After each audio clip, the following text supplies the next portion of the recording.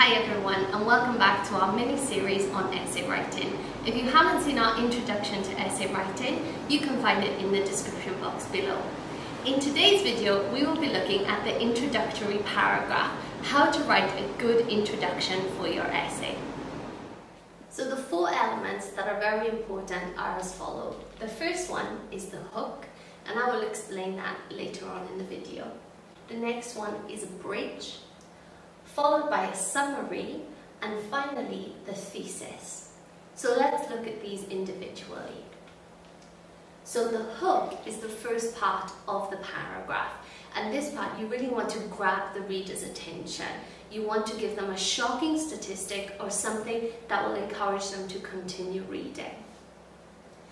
The second part is the bridge.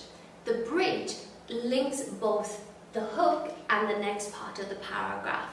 Usually here we give an example to really let the reader know what they're going to be reading about. The third part is the summary, and this will be the longest part of your paragraph, two to three sentences which explain to the reader exactly the purpose of your essay. And the final part is the thesis. And a thesis is just a fancy way of saying your own idea or opinion on the matter. However, don't forget to avoid using things such as I think. You want to support it with evidence and make it a more general statement.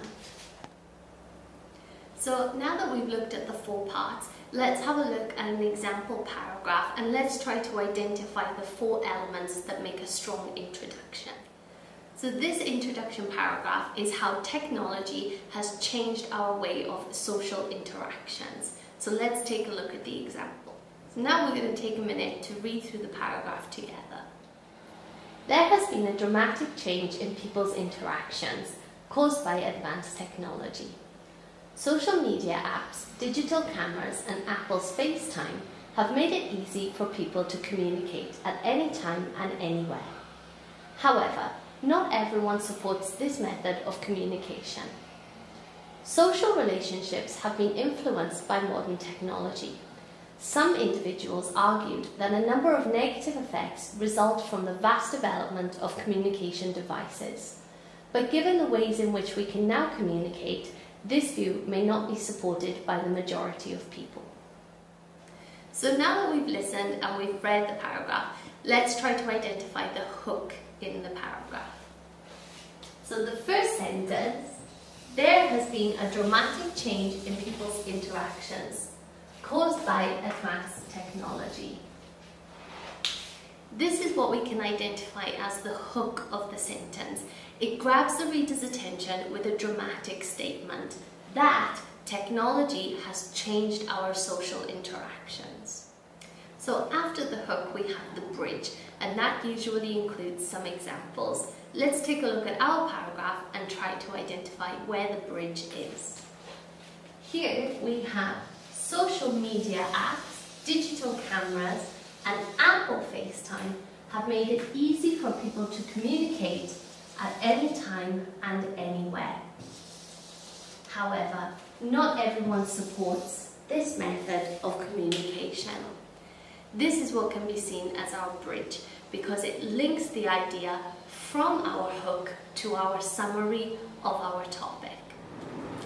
So after our bridge, we have our summary and this is our two to three sentences that give an overview of the topic we're going to talk about.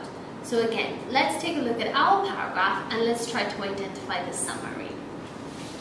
So our sentence starts, social relationships have been influenced by modern technology.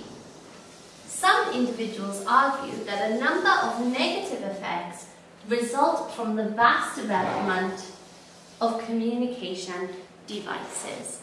This is the overall summary of the essay in its entirety. It explains very clearly that the essay you're going to read is about social interactions, the negative effects that technology has had on those interactions.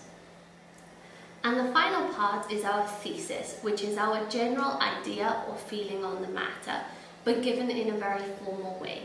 Let's take a look at our final sentence in our paragraph and clearly see if we can identify the thesis in our paragraph. the sentence starts.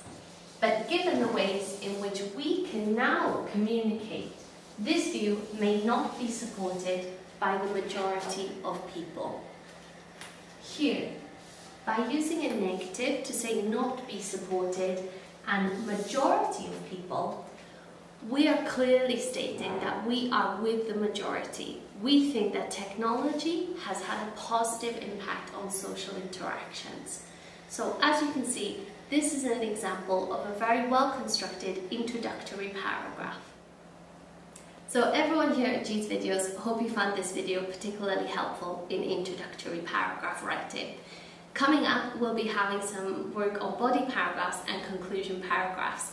You can download this free PPT and our example paragraph in the description box below. Please don't forget to like and subscribe for future videos so you don't miss out on all the help that we're offering in your English writing journey.